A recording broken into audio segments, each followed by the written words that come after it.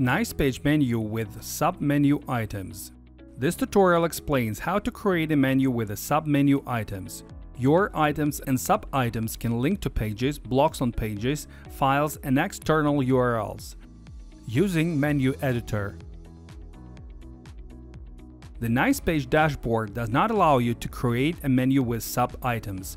Therefore, you need to use the menu editor. Run the Nicepage application, open or create a new page. In the Nicepage editor, select the menu in the header. Click the icon to open the menu editor. You can also watch the video about how to make a menu with a Nicepage application. Adding a sub-item.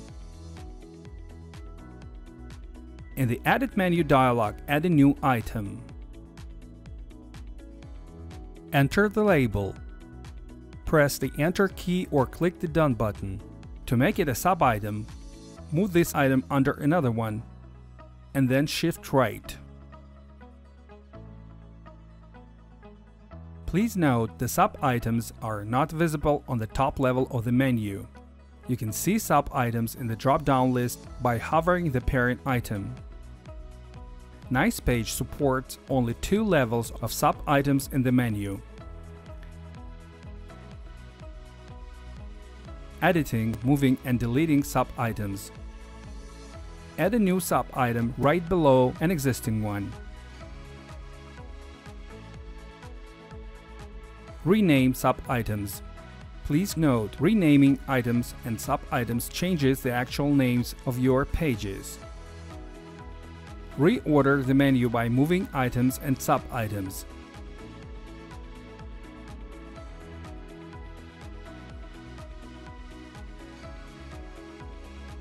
Add a sub-item.